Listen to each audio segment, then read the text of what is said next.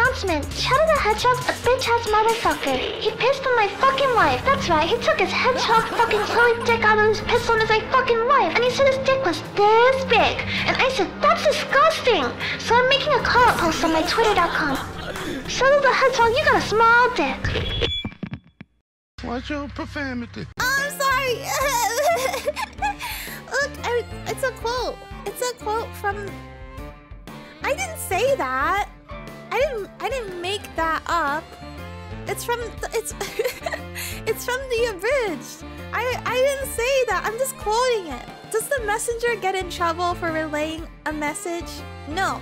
Okay. So. It's, it's not my fault. I'm just quoting. I'm just quoting a moment. Actually, yes, the messenger infamously did get shot for delivering the message. Oh no.